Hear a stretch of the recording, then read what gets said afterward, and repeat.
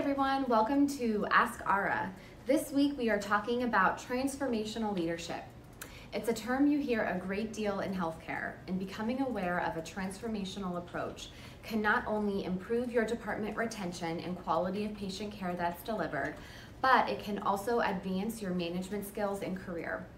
Transformational leadership is a term we love to see on resumes here at ARRA when we're looking for nurse managers and other healthcare leadership positions. So, what is transformational leadership?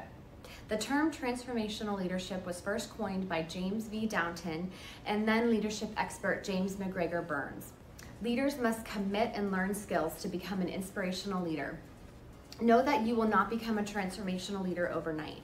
But here are three key steps to get you started and take your leadership to the next level. First and foremost, develop an inspiring vision for the future. A transformational leader needs to create a sense of belonging.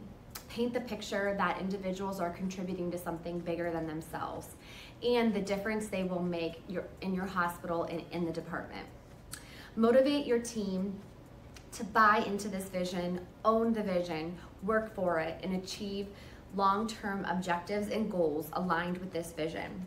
As a visionary leader, you must walk the talk by demonstrating a strong character, integrity, confidence, authenticity, and emotional intelligence. Number two, trust is imperative for transformational leaders. Being transparent will help earn your team's trust, which in turn makes them feel comfortable voicing concerns and raising questions.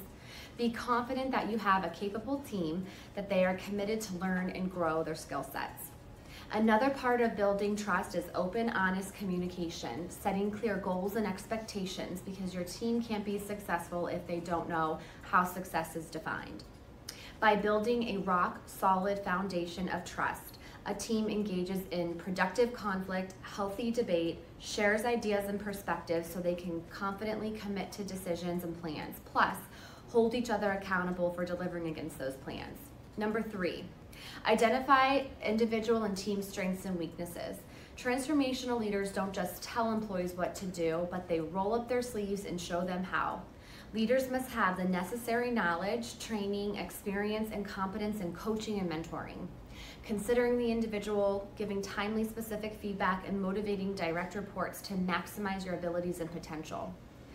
When building capabilities, you want to leave space for mistakes to be viewed as learning opportunities. When you practice transformational leadership, you can provide your team with room to be creative and to discover new solutions. Be open to experimentation, failing faster, and the new ways of doing things. Then, individuals can feel empowered to solve problems, change systems as a collaborative team who strives for excellence. You will need to set the example and be a role model.